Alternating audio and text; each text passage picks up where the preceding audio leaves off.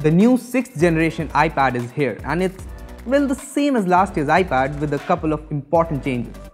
The changes sure are important but the biggest thing about this new iPad is that it's an extremely powerful tablet for an extremely low price by Apple standards. But what is it like?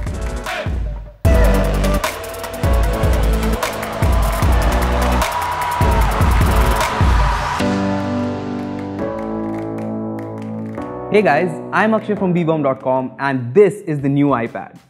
You can't see me, can you?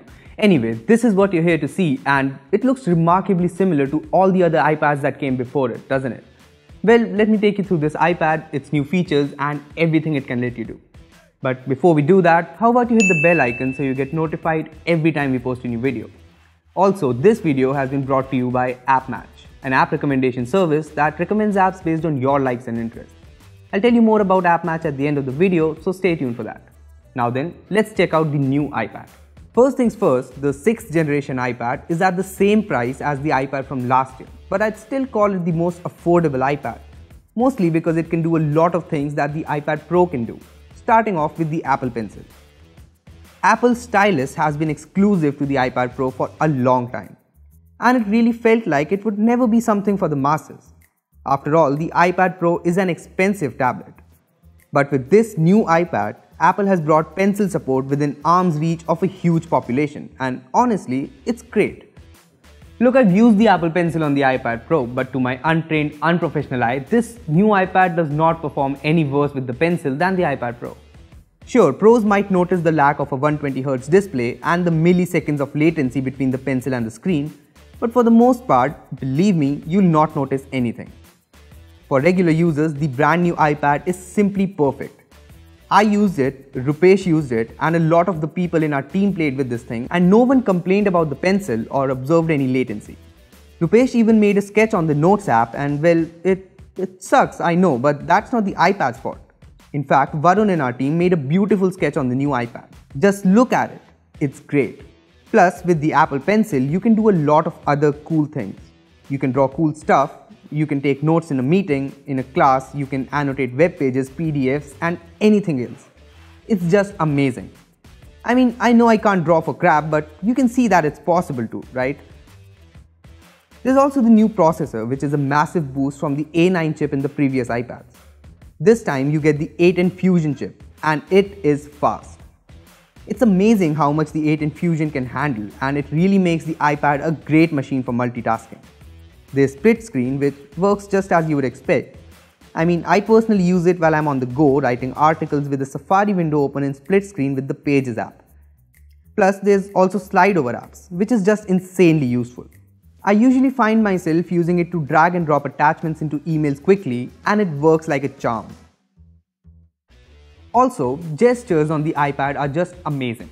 There are a number of great gestures that just make navigating through the iPad a breeze. You can swipe up like this to get to the app switcher, pinch in to get to the home screen, and even swipe left and right to switch between apps. Honestly, iOS on the iPad is truly a remarkable experience. And since the performance on this iPad is brilliant, it also makes up for a great gaming experience. I mean, I played PUBG on this thing and man oh man, the experience on the iPad is way better than on any smartphone ever. And that's partly because of this beautiful retina display. I mean, iPads have always had great displays and this one, well, it's no different. That said, there are a few things that the new iPad does not do as well as the iPad Pro. I mean, there are just two speakers here instead of four like on the iPad Pro, so there's no landscape stereo sound.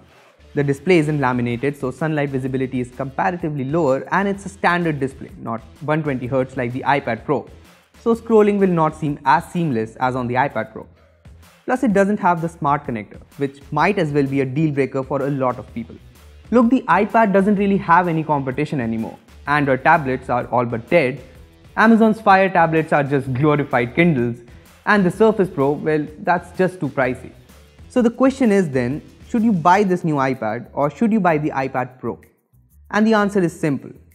If your use case is that of a professional user, I mean, if you're a professional artist or a designer and you're hoping to use an iPad for all your heavy lifting, a better 120Hz display will make a difference to you. And in that case, the iPad Pro is definitely the tablet you should get.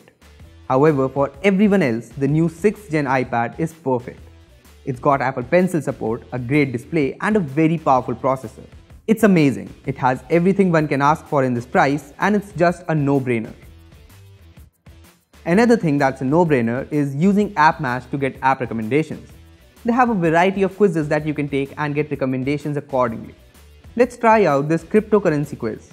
I can answer these questions and at the end the website suggests the best coin according to my preferences. Here's what my coin says. Instant transactions, fees under a penny. The first thriving decentralized autonomous governance structure in the world. We consider Dash to be the most promising project in crypto. Plus there are a bunch of recommended apps related to cryptocurrency as well. I can swipe left and right depending on whether or not I like them. AppMatch also has a new ad platform for app developers that can help you reach new users. The service is completely free and you should try it out if you ever need recommendations about apps you will like. A link with more info is in the description below. Well, those were my thoughts on the new iPad and honestly, I'm kind of in love with it. But what do you think? Do let me know in the comment section below. Also, give this video a like and share it with your friends who are confused between the iPad and the iPad Pro.